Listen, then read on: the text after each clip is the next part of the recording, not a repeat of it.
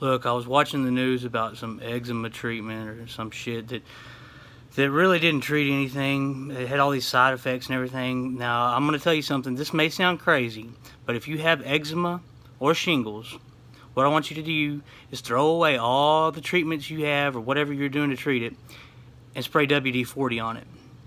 Now, you spray WD-40 on it twice, two treatments, and it should completely be gone. I know it may sound crazy, but it will work. I promise you. Apply it.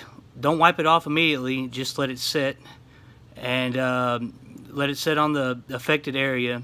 And like I said, after two treatments, it should completely be gone.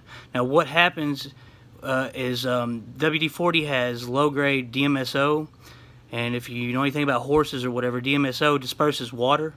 Well, somehow it treats it. I used to have eczema, and I don't know more.